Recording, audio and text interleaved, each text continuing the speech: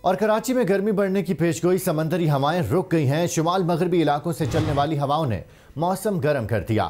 چار روز تک شدید گرمی کی لہر کراچی کو اپنی لپیٹ میں لیے رکھے گی۔ کراچی کا درجہ حرارت انتالیس ڈگری سینٹی گریڈ تک جانے کا امکان ہے۔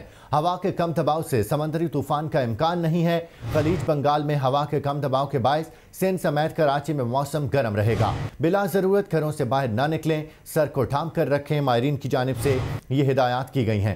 کراچی میں گرمی بڑھنے کی پیش گوئی سمندری ہوائیں رک گئیں۔ شمال مغربی علاقوں سے چلنے والی ہواؤں نے موسم گرم کر دیا۔ چار روز تک شدید گرمی کی لہر کراچی کو اپنی لپیٹ میں لیے رکھے گی۔ کراچی کا درجہ حرارت انتالیس ڈگری سینٹی گریڈ تک جانے کا امکان ہے۔ ہوا کے کم دباؤ سے سمندری طوفان کا امکان نہیں ہے۔ خلیج بنگال میں ہوا کے کم دباؤ کے باعث سن سمیت کراچی میں موسم گرم رہے گا۔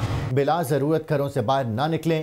سر کو ڈھانک کر رکھیں مائرین کی جانب سے۔ یہ ہدایات سامنے آئی ہیں۔ کراچی میں گرمی بڑھنے کی پیش گوئی کی گئی۔ سمندری ہوائیں رک گئی ہیں۔ شمال مغربی علاقوں سے چلنے والی ہواؤں نے موسم گرم کر دیا ہے۔ چار روز تک شدید گرمی کی لہر کراچی کو لپیٹ میں لیے رکھے گی اور کراچی کا درجہ حرارت انتالیس ڈگری سینٹی گریڈ تک جانے کا امکان ہے۔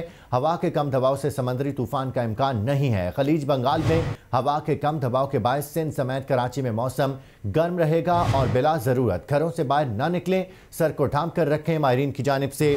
ہدایات سامنے آئی ہیں۔